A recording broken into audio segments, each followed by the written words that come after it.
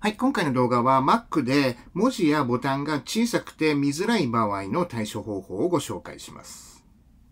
で、Mac で作業をしているときに、まあ、特定のですね、文字であったりだとか、ボタンなんかがね、ちょっと小さくて見えづらいなといった場合、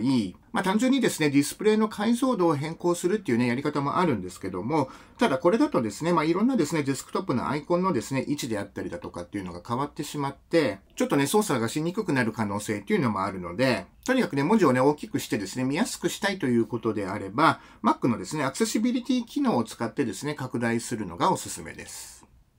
それでは早速その設定方法ですけども、まあ、まずはですね、この左上のね、Apple マークのところをクリックをしてもらって、システム設定のところをクリックします。はい、次にこの中にこのアクセシビリティという項目がありますんで、こちらをクリックをしてください。で、続けてこの中のですね、四角というところの中にですね、このディスプレイという項目がありますんで、こちらをクリックします。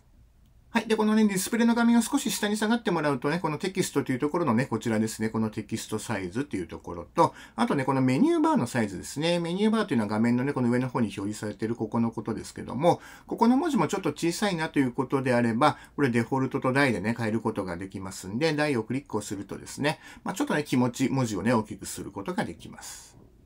で、まあ、デスクトップ上にあるですね、こういうね、フォルダーのですね、この文字であったりだとか、このね、アイコンのサイズを変えたいといった場合は、このテキストサイズというところをクリックをしてください。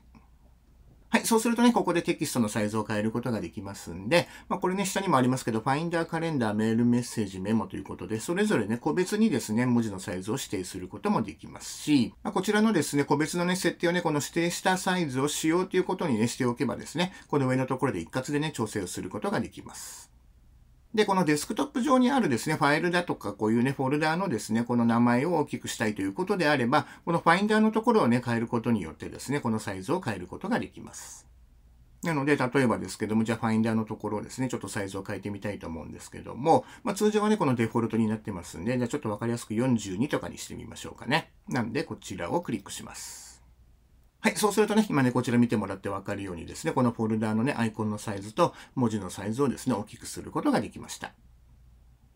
すべてね、一括でね、指定する場合はですね、この上のところでね、このデフォルトのところからですね、右にですね、持ってってあげることによって、このサイズをですね、変えることができます。